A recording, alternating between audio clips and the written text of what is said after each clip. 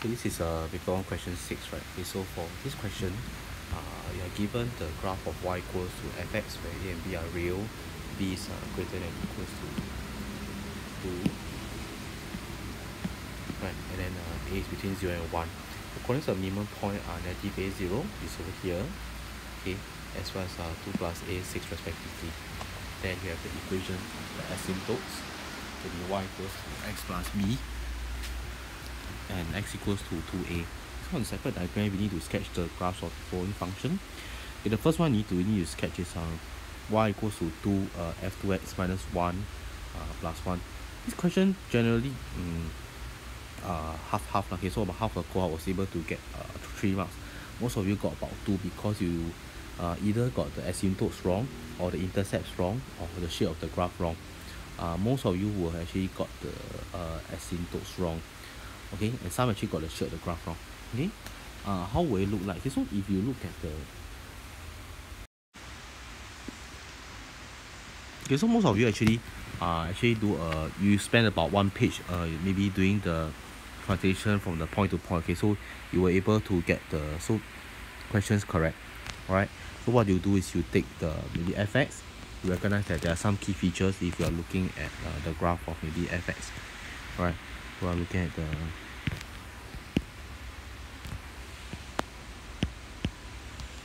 fx here.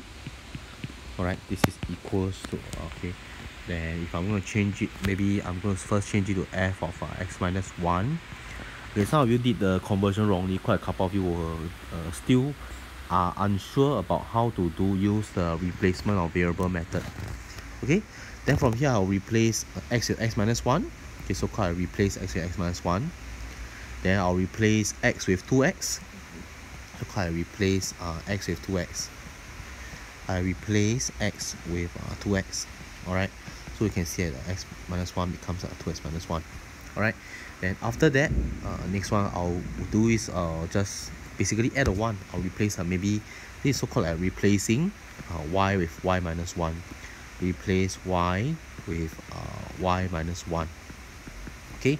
So with that we actually got uh, f of uh, 2x minus 1 plus 1 okay how does this affect all the key features? Okay so the turning point for example originally you look at that's the turning points. Alright if you look at the turning points the turning point originally was uh, 3 plus a. Well the turning point originally was uh, 3 plus a correct?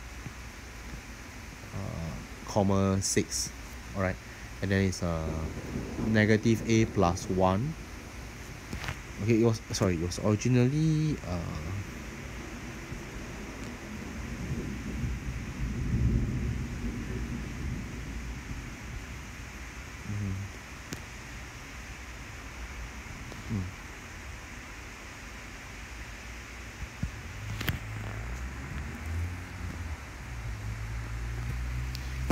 okay was uh, 3 2 plus a comma 6 okay and it was uh, negative a comma 0 alright? Then the asymptotes right the asymptotes. Originally was uh, y equals to x plus b. As well as uh, x equals to 2a okay? So this is uh, from fx alright so after we convert to fx minus 1 alright after we convert to fx minus 1 basically what we do is uh, we are replacing x with x minus 1 am I right? So if we replace x with x minus 1 basically what will happen is all the x coordinates will take a so-called plus 1 alright? All x coordinate will plus 1 right so you take a one unit translation in the positive x direction right so what will happen? Okay 2 plus a will now become 3 plus a am I right so it will affect all the x coordinates. Negative a will become negative a plus 1 the y coordinate remains unchanged. Okay y equals to x. Uh, what happened? Your x become x minus 1 right? Because we're replacing x we're replacing x with x minus 1 okay and then minus b.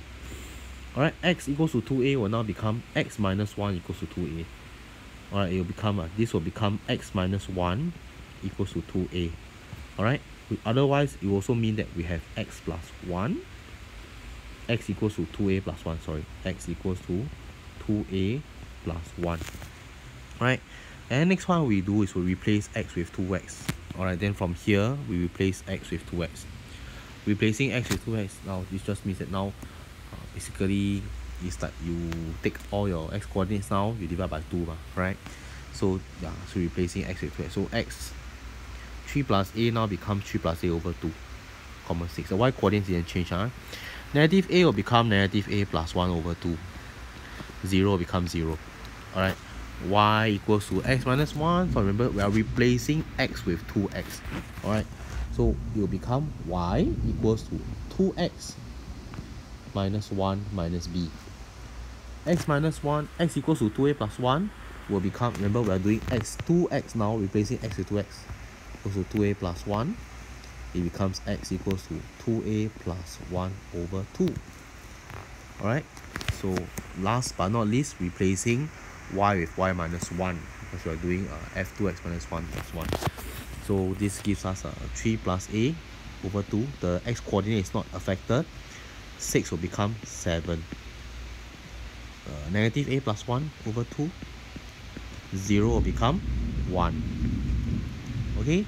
Y equals to 2x minus 1 so remember y now is replaced with y minus 1 so basically uh, we are taking we shift the 1 over it is minus b plus 1 alright cancelling off the minus 1 and plus 1 we just have uh, the asymptote to be y equals to 2x plus b. And for the x asymptote the, particular asymptote x equals to 2a plus 1 over 2 uh, is not affected at all. Alright? So looking at your final graph uh, this should be your this should be your uh, final features of your graph. Okay? So using all this in mind the outcome of the answer you actually obtain go back to the question right? So basically if we we go back to the question all right for it not to cut y equals mx so you can see it's quite easy. Right basically you know that if my line is here right okay my line is here right? All right okay this itself will be m equals to 1 all right so if I were to go so called go in this direction alright that means actually my m is actually decreasing. I'm going towards a flatter gradient. Uh, basically let's say if I go towards this direction this is like m equals to 0 if I go down here I mean this direction again it's like m uh, negative. So I'm actually pivoting like pivoting about this point. I'm actually pivoting about this point. Negative. Okay so the true answer is uh, a lot of you actually you know that you are able to get the answer uh, to get m uh, is less than 1 okay? But you miss out the fact that n could be equals to 1 okay? So I still got it wrong because the correct answer is actually m less than equals to 1 for part 3 okay? So the correct answer for part 3 is m less than equals to 1 most of you just got m less than 1 you didn't include the equality okay? Can. So this is for question 6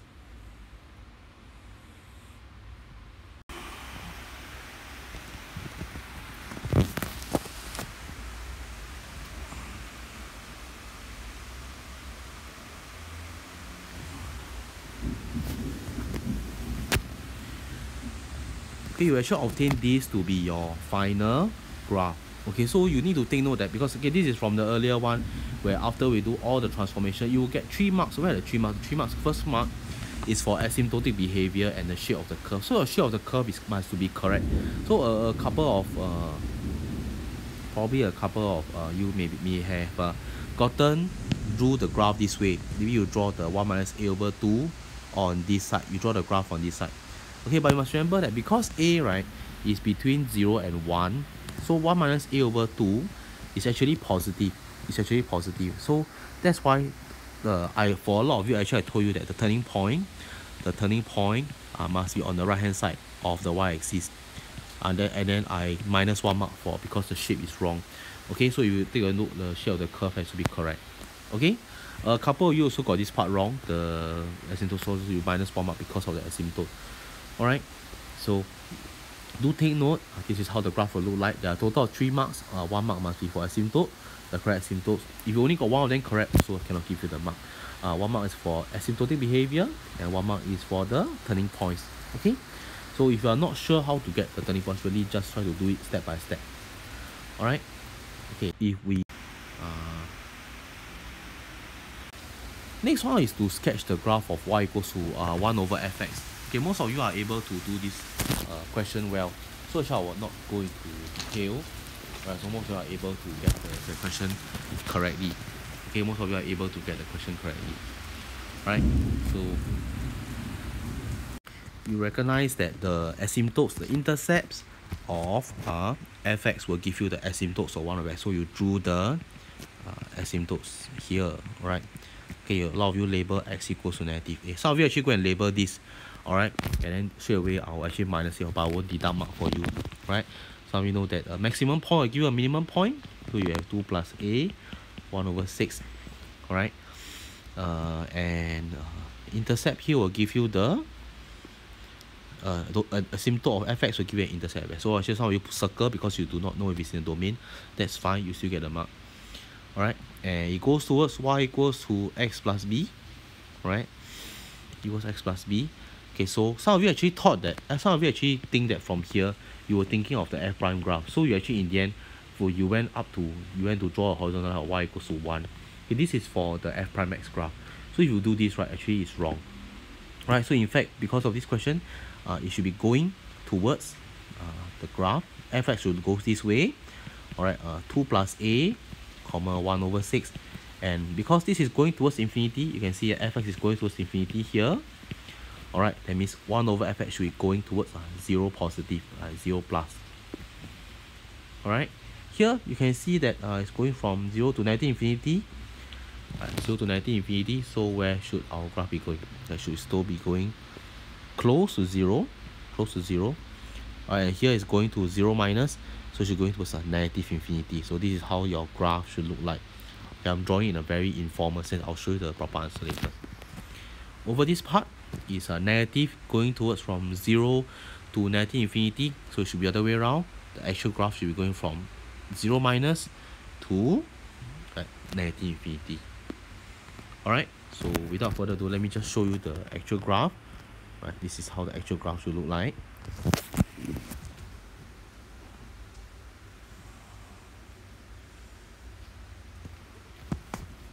this is the actual graph of 1 over fx so your uh, original intercept should become asymptote as you intercept okay there's no other uh, way to go about this. You must get to get the three marks you must have the correct intercepts number one. You must have the correct asymptotes number two.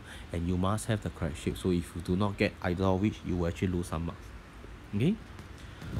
Okay next one is actually part three. Uh okay so part three is actually quite well done. Uh. Part three is actually quite well done. Okay, so you are supposed to prove that uh, the first find the point of uh, P uh,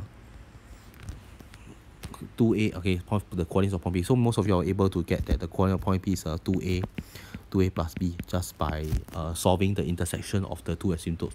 Okay, after that, uh, again, the question is very well done. You were asked to show that it lies on the equation. So what you basically do is you just sub the P right into the equation of uh, mx so basically uh, if I give you the equation you just took y minus uh, y1 is the equation uh, x minus x1 equals and this is what you use. Okay so then uh, most of you did this you use uh, point p the 2a plus b over uh, x minus the x coordinate of uh, p which is 2a equals to m and then you did this uh, y minus uh, 2a minus c equals to mx minus uh, 2ma and therefore y is equals to mx uh, plus b plus 2a minus 2ma right for m to be a real number.